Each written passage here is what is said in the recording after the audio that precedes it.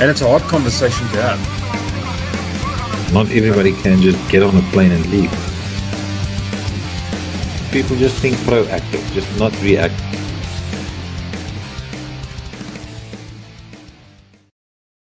Mr. Des Brown, welcome to the Fortis Impact Talk.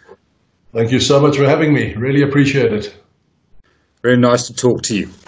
Des, tell us a little bit about yourself. What's how did all this start for you? How long have you got? Uh, Vaynant, I've been in the martial arts in one way or the other all my life. Um, you know, as, as, a youngster, I started out doing karate. I suppose, like everyone does, you know, your parents get hutful and they go, "You need some discipline," and off you go. At the age of seven, and you go and do some karate. You know, and uh, that that kind of you you know, martial arts combatives, that whole kind of zeitgeist, it gets into your bloodstream. and stays with you for life. Um, and as a teenager, I continued studying karate, not because I was crazy about karate, but you know, I'm talking back in the 80s. Uh, there wasn't, there was no internet, there wasn't much around. You know, you kind of took what you could find.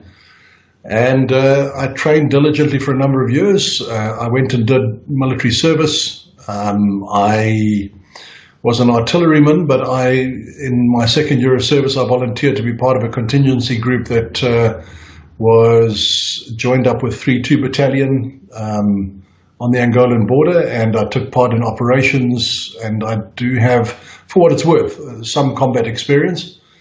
Um, and, you know, people like you to throw that in because it somehow means something. What it means is that you, you know, you got shot at like everyone else. Uh, you were very scared like everyone else, and you joined the ranks of old people who say, "When I was." Uh, so it's really meaningless. It has no, no context in terms of what we're talking about tonight. Um, but it does give one an appreciation of, uh, I think, what it, what it means to face life and death situations, um, which is a perspective that I'm very grateful not many people get to experience. Uh, when I left the military, I kind of regrouped. You know, it took me a few years to find my feet. Um, I started working, started a family and drifted back into the martial arts and again back to karate, Okinawan Goju-Ryu karate. But at the same time, I was, you know, there was a sense of seeking. Um, I wanted something more. I wanted, I wanted to dig deeper and find out where this came from, what the roots were, how, how is it applicable, um, and what is practical. You know, because I, I think I understood intuitively the difference between an art and a practical system at that point. And um, I tried to connect the dots. So in that journey, which was you know over the next decade, decade and a half, uh, I continued with karate. I did a little bit of uh, Shaolin Kung Fu uh, in Johannesburg. I was exposed to a bit of Wing Chun. I did some Aikido. I did some Tai Chi. I did, gosh, let me think, Japanese Jiu Jitsu with Sam Tonkin for a little while. Um, and all the while trying to trying to find find the common denominators, you know, kind of piece things together for myself. And toward the end of that journey, I, at one point, was teaching a Tai Chi class um, to a group of people. And they, they knew a little bit about my background and said to me, you know, teach us some self defense. And my, you know, my style is to say yes and then figure out how. Generally, it gets me into a lot of trouble. Um, and I said to them, sure, you know, we'll do. And I took two weeks and I cobbled together this entirely homemade system of self defense. Uh, and I thought to myself, well, what's practical? What are people likely to do? They, they hit you, they push you, they grab you. There's, you know, responses to chokes. There's what if they have a knife? What if they have a gun, etc., etc. And so I built up this, this cute little homemade thing of my own, you know, over the course of a couple of weeks and started teaching it. To my amazement, the people who I was teaching actually didn't immediately identify me as a fraud. Um, and they really liked it. Um, and so I started teaching, and that little class grew uh, quite significantly. And one night, six months later, uh, a gentleman a little more senior in years walked into the class and he said to me, Would you mind if I watched? And I said, Yes, with pleasure. You know, and he went and sat in the corner, very distinguished, very, very lovely man. When I was finished, he came to me, you know, after everyone had left, and he said, So what is this you're teaching? And I knew I'd been I'd been made, you know, like, okay, you've got me. I said to him, it's, well, this is my mom's homemade, home knitted jersey. I just, saamgeflans, I put it together. This is, you know, this is, this is my thing. And he said to me, you know, this is remarkably like the old Krav Maga. Have you, have you heard about Krav Maga? Should you, you know, have you be, ever been interested? and I'd heard about it. You know, I didn't know much about it, but I kind of I had an inkling as to what it what in, you know what it entailed. It turned out um, that the gentleman was Jeff Miller, who uh, studied and taught at the Wingate Institute. He was a very highly ranked instructor with the IKMF in Israel. Um, taught and accredited several instructors in South Africa at a very high standard, and and he was just like the most marvelous man, very gentle, very um, extraordinarily knowledgeable. And for some reason, I have no idea why, he took a liking to me, and he invited me to come and you know learn some of the basics. He gave me teaching plans, he gave me study manuals, he gave me class planners. Um, he showed me how to teach, how to fit it together, what what this was. You know, and as that process happened, it was like a, the proverbial light bulb went off over my head. And all of a sudden, everything came together. All these things I'd been looking for, I'd found. Because it was a process of distillation. You know, you know, if you look at the martial arts, there's a lot of stuff out there. And to try and strip away the unnecessary and get to the kernel of things can be quite difficult, especially if you have a limited perspective. And I think that's what, for me, Krav Maga embodied. It was, it was a case of stripping things down to the essentials, making them practical, and connecting the dots in a very real way that you can immediately see, you know, works to, to one degree or the other. Um, and to put it bluntly, I fell in love. You know, that was the start of a journey for me that has now been, you know, 15, almost 20 years in the making. Um, and I know it's been a long story already. I'll already stop now. But uh, I started, you know, teaching Krav Maga formally a couple of years later, we affiliated with an Israeli organization uh, who we've since broken away from, and we're entirely South African now for a number of reasons, which I could talk about. Um, but, you know, in essence, that's how Elite Defence Academy International came into being.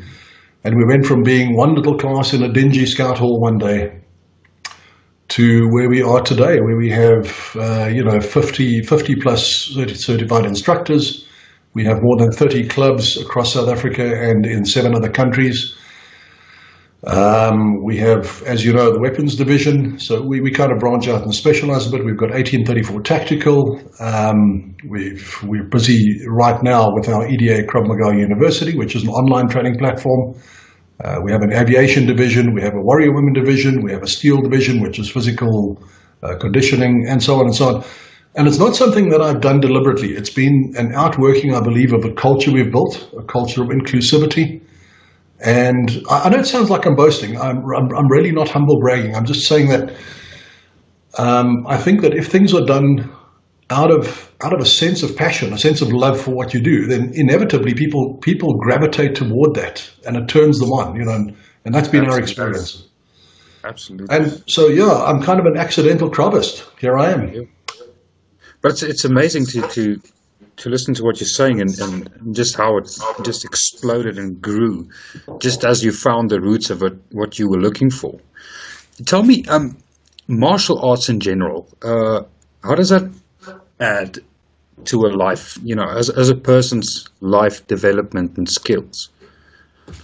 Would you, would you say that, you know, the, the path that you've taken and where you've gotten to this point did obviously martial arts had a big influence on it. And yeah, it's um, I could I could I could give you the cliched answers. You know, all, all the things about um, how your self confidence improves and how your uh, decision making under pressure changes and your perspective on life changes and how you gain uh, you know a kind of an understanding of war versus peace. You know, and uh, different ways of influencing people um, character building, you know, all and all of those are true. They're absolutely true, and I, I, believe it to be true whether you, you know, whether you do a traditional martial art like a karate or something, whether you do a combative sport like MMA or Muay Thai or BJJ, or whether you do, you know, a slightly more stripped down version like a Krav Maga or combatives program.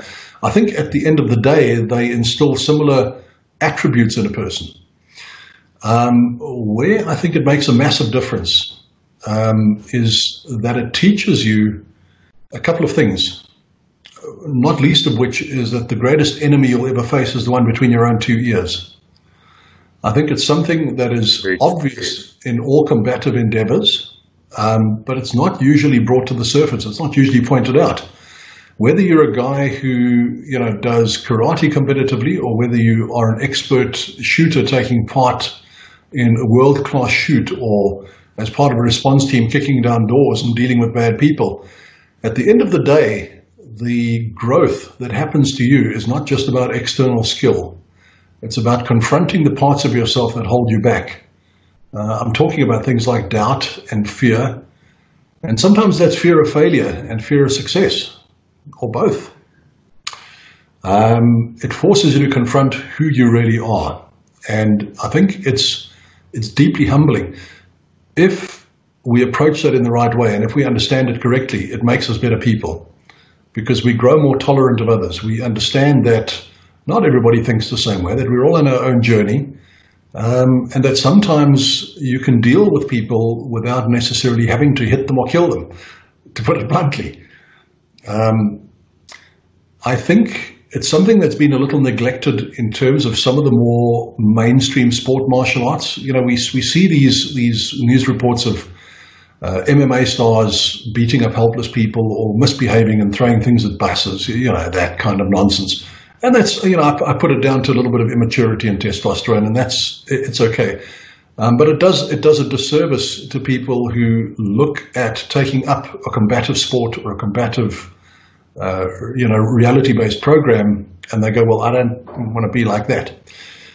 If we look at the historic ideal of what it means to be a warrior, um, you know, and especially if you look at the martial arts as they pertain to to to Asia, the Japanese and Chinese martial arts, and and others, there's always been a strong requirement for strength of character, for humility, and for respect.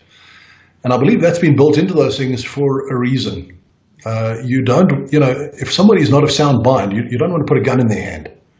Um, if they are hot-headed and they're just going to shoot somebody over over a road rage incident, that's not someone you necessarily want as a responsible gun owner, right?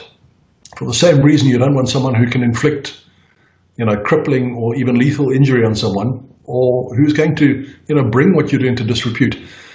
And the reason I'm saying that is that is primarily how the martial arts and the study of combatives uh, can change people's lives. There's a saying, it's a bit of a cliche as well, you know, that money doesn't change who you are, it reveals who you are. And I think by the same token, uh, study in a combative discipline also reveals to an extent who you are, but it offers you the opportunity to embark on a journey that changes who you are and become a better, stronger person. Um, one of the tenets of the martial arts is that what we do is not for ourselves, it's for other people. It's to protect your loved ones, it's to aim for a peaceful society. You know, Emil Lichtenfeld said the same thing about Krav Maga, so that we may walk in peace. And if we emphasize that, if we teach that as the backbone of combatives, of shooting, of sport martial arts, of everything related to that, uh, then I believe it's an immensely helpful tool in the hands of human beings. It makes for a, paradoxically, it makes for a more peaceful society. Definitely, that's that's that's very true. That what you're saying. Um, people who are armed with skill to harm, they are the ones who should bring peace. That's the whole point, right? Yeah. Hopefully, yeah. yeah. Fantastic. You touched a little bit on um, on Japanese and uh, and the Chinese and Korean, the, the Eastern work, the the martial arts, and uh, what can we learn from the history of of uh, of martial arts in general to defend ourselves? Hmm. Found a couple of key things. Um, one of the things we, we learn from history over and over again is that um, I'm just trying to think of the old expression. Um, war, war makes criminals, peace hangs them. uh, history, history teaches us that you need to have the means to protect yourself, your family, uh, your community, and your country. But at the same time, that needs to be balanced with skills that enable you to do so with peace as, as, as the primary goal, the preservation of life as the primary goal. Uh, one of the things that we have as a, we call it the prime directive. It's the thing that underlies everything we teach in our system. And that prime directive is the preservation of life. It means that we, first of all, your goal is to preserve your own life. Your next goal is to preserve the lives, the lives of your loved ones and of those around you, should it be feasible to do so, and right down to the extent of preserving the life of your enemy, if you have the opportunity to do so and you have choice and the luxury of doing so. Um, because that means that we stay focused on what is important, and that is a process uh, of using the martial arts as a tool for engineering better human behavior. When I say martial arts, you know, I'm talking about everything from you know military combatives right down to Tai Chi. Uh, so that's one thing we we learn from history. If you don't do that, then ultimately it becomes something that is harmful to society. Uh, the other thing we learn from history is that in order for martial artists, combatants, soldiers, people who have martial skill um, to do that, they need to be well balanced. You know, in the in the in the in the Eastern martial arts, they speak about the necessity of a warrior being someone who is taught and knows how to appreciate beauty, uh, someone who is, you know, as adept with the brush and the pen as he is with the sword, so to speak. Right. Um, and if we don't do that, then how do we show other people the value of what we have to offer? If we don't, it then becomes an us and them thing. Uh, and I think there's a lot of that happening in the world right now. There's a huge amount of misunderstanding.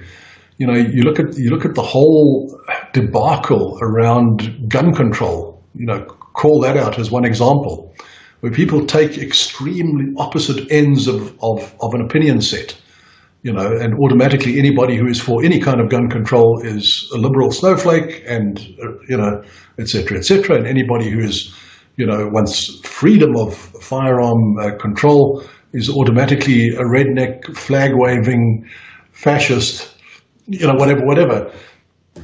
And neither of those are necessarily true. I think it's a case of understanding what is what is meant by what each each each you know polarization wants. Um, and that aside, you know, that's it's a whole debate in itself. But what I'm saying is, if we are careful and diligent to show that to people uh, in such a way that they see martial skill, combative skill, and the combative arts as being as helpful to society as learning how to dance or sing or paint a picture or do an Excel spreadsheet. In other words, a usable skill. Um, it paves the way for those things to be used correctly. Um, you'd think those things are obvious, um, but they're not always. You know, history history has a habit of repeating itself. Um, so I think we're in a time right now where the world is very tense. We, are going through some some very interesting times. You know, it's the Chinese curse, right? May you live in interesting times. We're in interesting times, dude. Uh, and I think right now what's called for are cool heads, um, good dialogue, the willingness to listen instead of just try and shout down opposing views.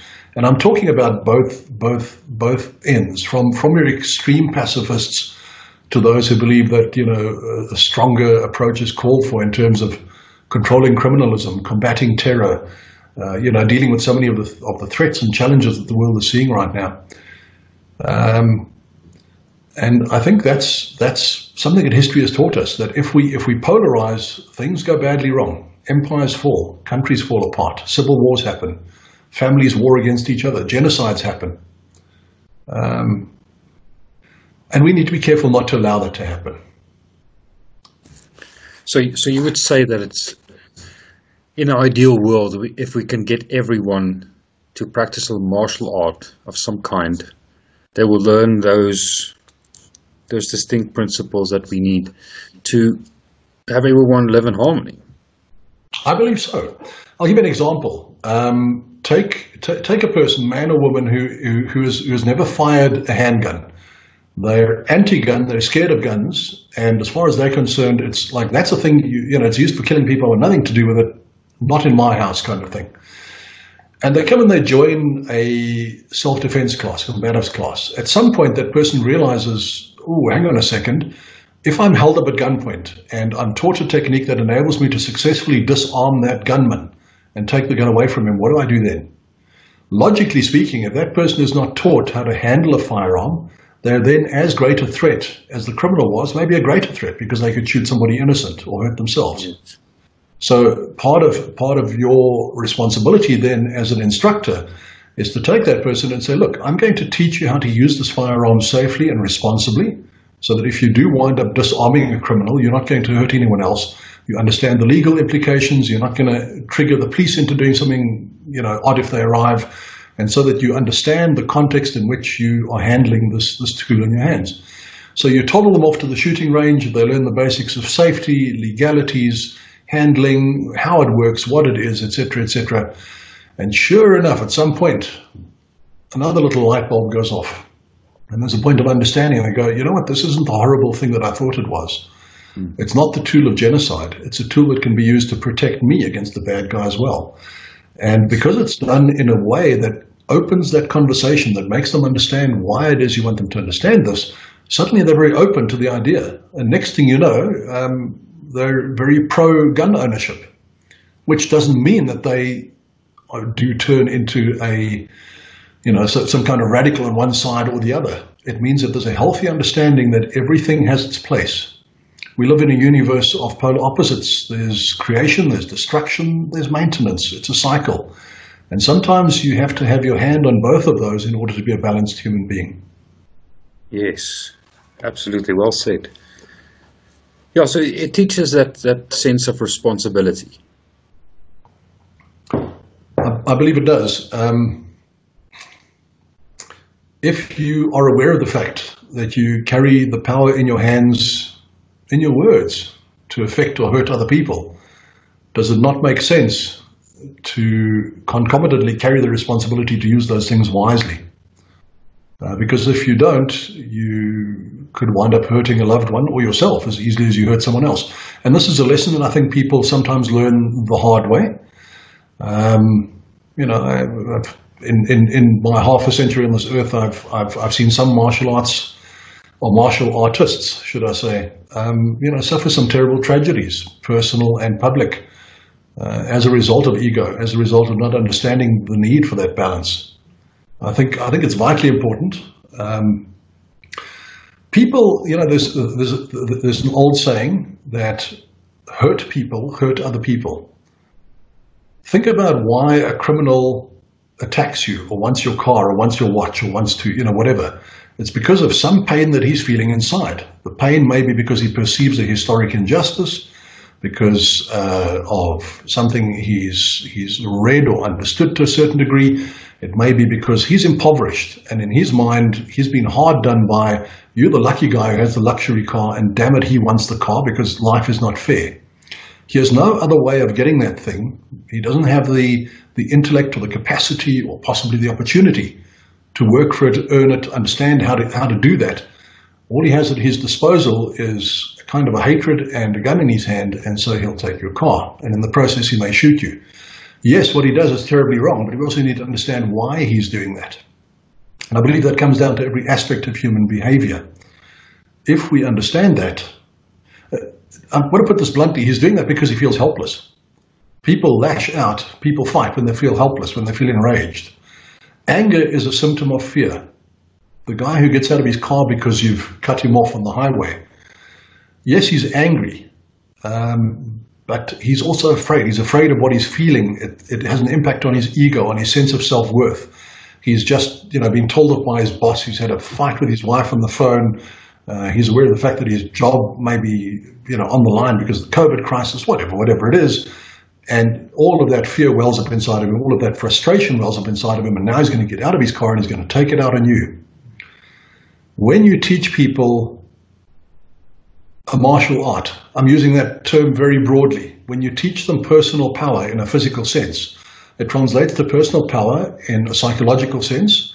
And when people are empowered, some of that fear starts dissipating. They feel like they have control over their lives.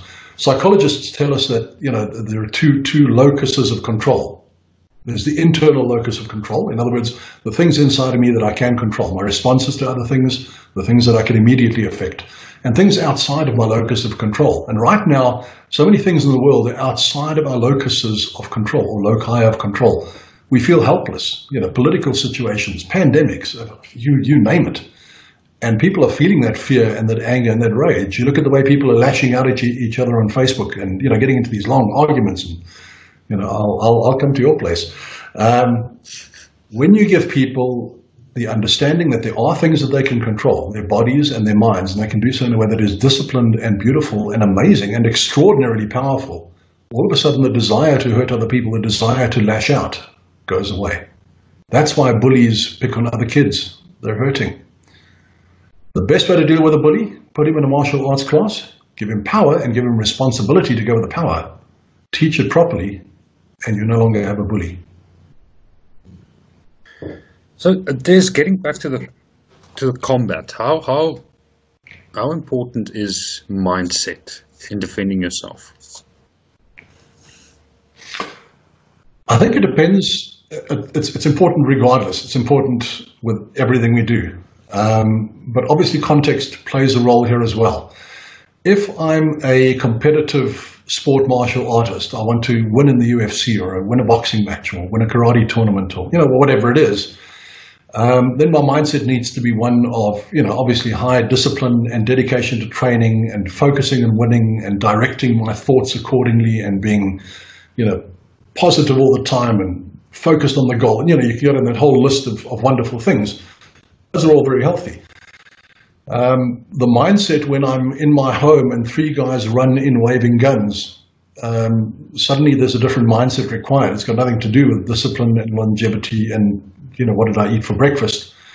It's got to do with, holy cow, I need to act fast, I need to act aggressively and assertively, and I need to turn on my killer instinct. Um, and I believe in the context of combatives, because I think that's more in terms of what we're talking about tonight. Um, we're talking to men and women out there who really want to know what to do if a crisis happens and their lives are in danger, literally.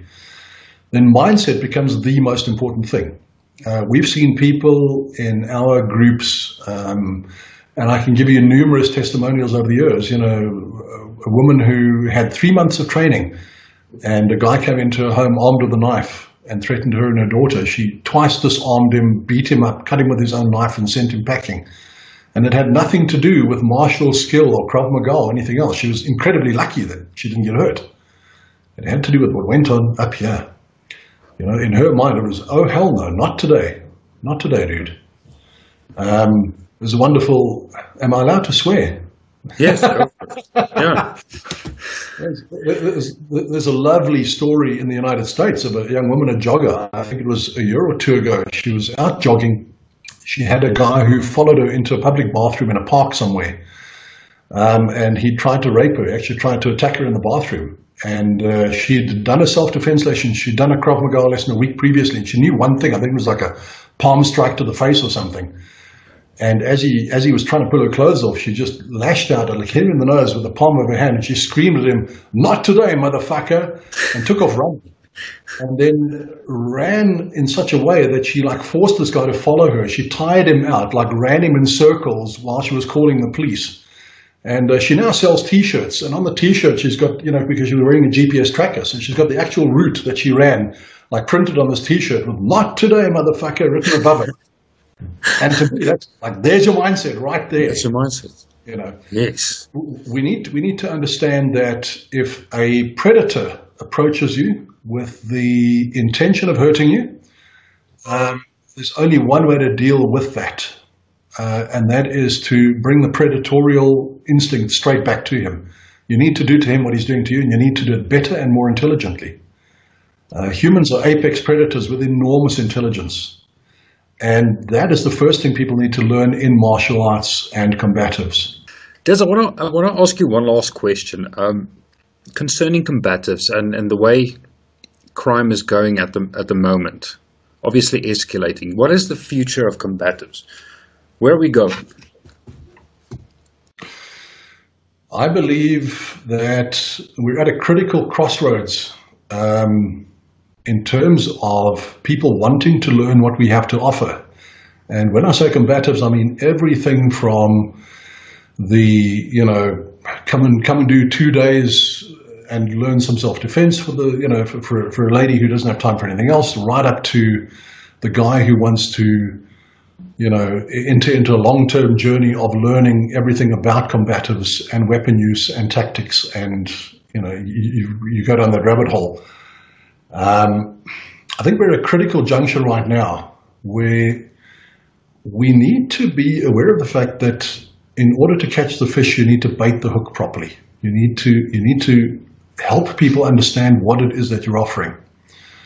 Um, if you talk to someone who is not familiar with what we do and you talk to them about combatives, it scares them off, to, to put it very bluntly. I'm not talking about the, the guy who may be, you know, let's say, for example, in the farming community, it's I think it's generally well known that jeepers, you're walking around with a target painted on your forehead, you know, and, and so you, you need to be prepared. You need to get some training. You need to create layers of security and you need to be hyper vigilant. Um, that that that you know that's a market where, and I'm using the word. Don't get me wrong. I'm using the word market in terms of mindset. Yes, yes. Um, but you know that's a market where you, you, you, approach people in that position and they immediately understand what it is you're offering because their own lives could be in danger. They're, they're keenly aware of it. But when you talk to people who are you know your, your ordinary man and woman who lives in a suburban situation yes, they're kind of aware that crime crime is a thing in South Africa, and they moan about it on their WhatsApp groups and you know on Facebook and ask when the government is going to do something about it and why the police are so cock and you know they go on and on. Um, I think one of the one of the things that, that we've maybe done wrong in times gone by is we've been very confrontational. You know, it's the whole well, you should be your first your own first responder kind of thing, and why don't you know why didn't you do something about it? And you know, we again, it's the polarization. Um, I sometimes get the feeling that the sheepdogs uh, behave more like wolves. Um, we tend to look at at the civilian who doesn't have the inclination um, yet to learn this kind of thing, and we dismiss them as you know sheeple who are just you know blindly milling about, and you know, yeah, one day when it happens to you, you will see how, how important this is um, it creates it creates division. I think right now more than ever, we need to we need to be having the conversation with people. We need to be can I can I use the word marketing? We need to be marketing what we offer in every sphere in such a way that people who see it who haven't been exposed to it are attracted to it. Uh, that's a broad, sweeping statement to make. And you know, if we had another two hours, I could I could expand on on why I think that's important and what our strategy is to, in terms of doing that. But I think I think the future of combatives we're we're at a fork in the road right now. It's it's either going to be um, a situation where it becomes um, more isolated and more misunderstood, and it's going to be a core core group of people who, who are perceived as being you know a little bit out there, um, or we have the option of putting this, doing this, teaching it in such a way that it becomes more socially acceptable. Um, and I think that the future of combatives, if we do it right, is collaborative more than competitive. I believe that for far too long, there's been too much sniping, too much politics, too much he said, she said, yours, yours doesn't work, mine works, you know, all of those things. Um, because we're, hey, we're naturally competitive. We want to fight, right? It's what we enjoy. Yeah. The problem is we're fighting with each other and we actually all have the same goal. We want to ensure a safer society, teach people how to live peacefully, sort out the criminals, um, and restore order to society. So I think there is going to come very soon a situation in South Africa and globally where more martial artists and combatives instructors start collaborating, sharing information in a weird kind of way, it doesn't weaken what we offer, it makes it stronger.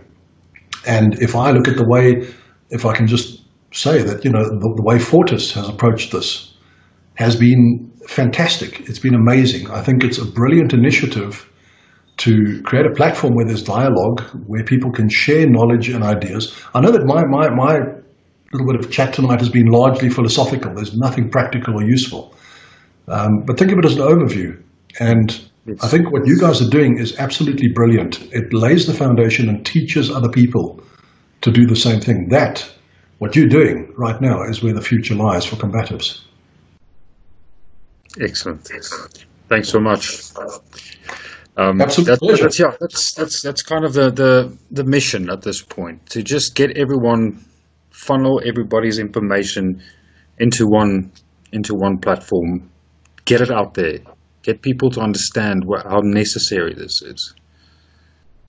Well, I have no doubt that it's going to be tremendously successful, and I know for a fact that there are a lot of lot of other groups and organisations looking at what you guys are doing, and nodding and going, you know what, these guys are on the right track. Maybe we need to change the way we think. Yeah, be be the change you want to see, right? I think that's what you guys are busy doing, and you're doing it in a way that is very intelligent and is working very, very well. Well, thanks very much. There's, I'm, I'm glad that it's that it's um, the message is getting out there. I think that's the most important thing. Is just you know just bringing information to people and whoever you know it might be one one person in 150 that sees a video gets something out of it. That's one person whose mindset will then be changed. Yeah, and potentially one life that is that is saved, if the seeds that are planted. Ten years from now, the landscape's going to be very different, and those who think that way, those who think the way you're thinking, are going to be the leaders.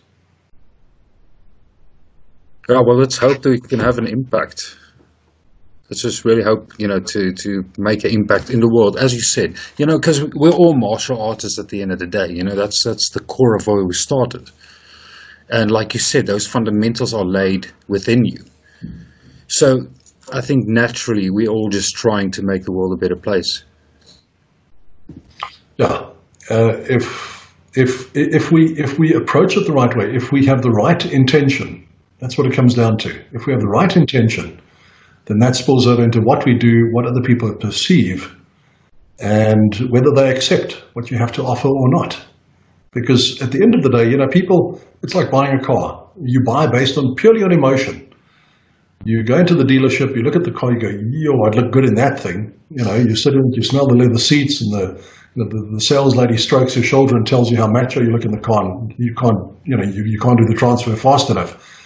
You go home and you've got to explain to your better half why you spend so much money on the car. And so all of a sudden it's about, you know, well, it has this much torque and it's got these safety features, it's got da da da da. It's got, it's got nothing to do with it. You bought it because you liked it, because it mm. made you feel good. Yes. And if we if we present what we have, which is enormously valuable, in a way that helps people understand that it will add value to their lives and the way they feel about themselves, then that changes society. It brings people in, and those barriers just disappear like mist. Absolutely. Des, thank you very much for your time. I really appreciate it. Um, we will definitely get you on onto the show again to to share some of your extensive knowledge of self-defense and combatives with us. But for Anytime. tonight, I would love to.